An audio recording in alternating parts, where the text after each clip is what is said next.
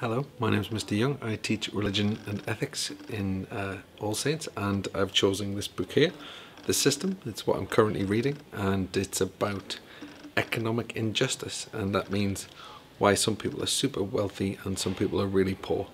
It's in America and it's all fact-based um, and it's just really interesting because it seems like the system is unfair when some people get to be super wealthy and some people have nothing. So this book is about why that's like that.